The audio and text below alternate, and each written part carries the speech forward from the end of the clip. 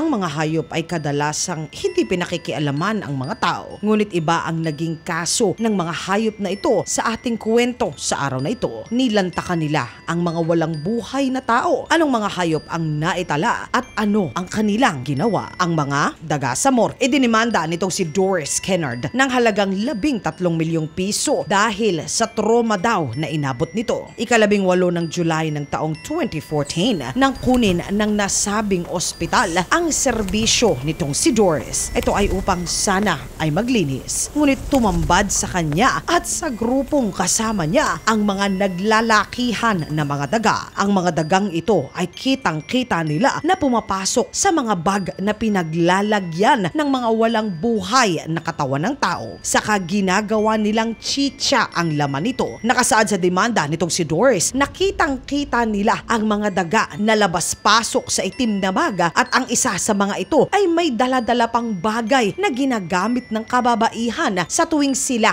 ay may buwan ng dalaw. Paglabas nito sa isa sa itim na bag na pinaglalagakan, nanalo si Doris ngunit umapila ang ospital. Ayon sa kanila na walang katotohanan ang kanyang mga itinuran. Ngunit hindi rin nagbago ang desisyon ng hukuman. Ang pagong na kumakain ng tao. Napakalaking problema ng pamahalaan ng India. Ito ay dahil ang ilog nila na tinatawag na Ganges bukod sa paliguan at labahan ay tapunan din ng mga walang buhay na katawan. Normal na sa mga Indiano na naninirahan malapit sa ilog na ito na makakita ng mga lumulutang na kung ano-ano. Ito ay kahit pa labi ng tao. Ito ay dahil naniniwala ang karamihan sa kanila na ang ilog ng Ganges ay sagrado. Kaya naman upang maibsan ang polusyon na hatid ng mga nabubulok na laman ay nag-invest ang India ng halagang sa mahigit na 32 million dollars o katumbas naman ng 1.7 na bilyong piso upang makabili ng 250,000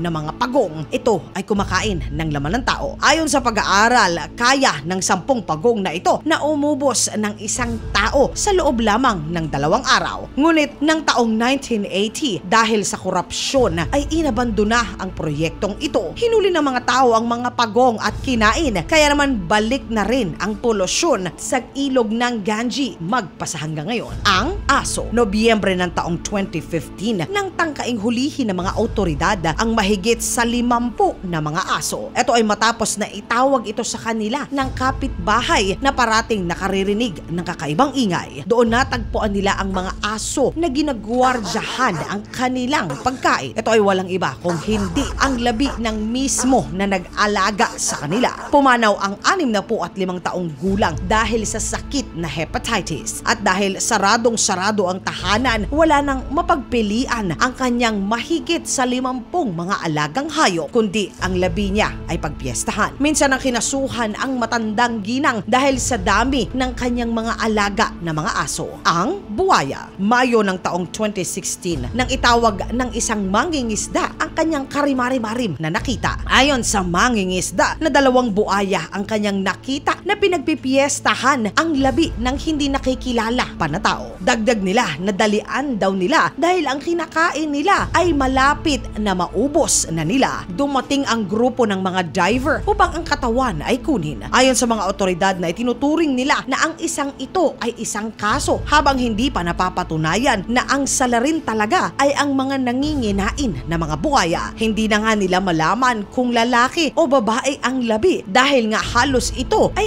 naubos na nang makuha nila. Kinain ni Muning. Agosto ng taong 2013 nang mapansin ng mga kapitbahay na tila ba apat na araw na na ang lalagyan ng sulat ng ginang na si Janet Ville ay apaw na apaw na. Agad nila ito na itinawag sa otoridad na ang mga ito ay rumisponde ay hindi sila agad na nakapasok. Kaya naman sa ikalawang palapag, sila ay muli na nagtangka. Doon na silayan nila ang dalawang alaga na wala ng buhay. Sa kanilang pagpasok ay tumambad sa kanila ang napakaraming mga tambak. Ito ay kung ano-ano sa kusina na abutan nila na kinakain ni Miming ang labi ng 56 na taong gulang na ginang. Dahil sa tindi ng kalagayan ng katawan ay hindi na mawari pa kung ano ba talaga ang ikinasawi nito. Ang ganti ng api. Taong 2015 na isang Britong turista ang nag-report sa otoridad sa bansa ng Zimbabwe. Ayon sa kanila na sa kanilang pamamasyal ay nakita nila ang walang buhay na katawan na kinakain ng mga buwaya. Ito ay malapit sa ilog daw na dinaanan nila. Sa kanilang pagresponde ay hindi nila nakita ang labi ng sinasabing na kinain na lalaki. Tanging naabutan nila ay ang pantalon nito na palutang-lutang. Ayon sa otoridad na malamang may idea na sila sa pagkakakilanlan ng sinasabing misteryosong tao. Dagdag nila dalawang araw ng nakararaan nang magkaroon ng inkwentro at laban sa mga iligal na mga ngaso. Ayon sa kanila na may tinamaan silang isa, ngunit ito ay nakatakas pa. Malamang na hindi man sila naabutan ng otoridad, ang mga buaya na iligal na hinuhuli nila ang talaga naman na nakinabang sa kanila. Ang pating sa Pilipinas. Nobyembre ng taong 2014 nang makahuli ang isa nating kababayang mangingisda ng isang pating. Ayon kay Budoy Gurgod na apat na po at walong taong gulang na mula sa Bohol, nakuha niya ang pating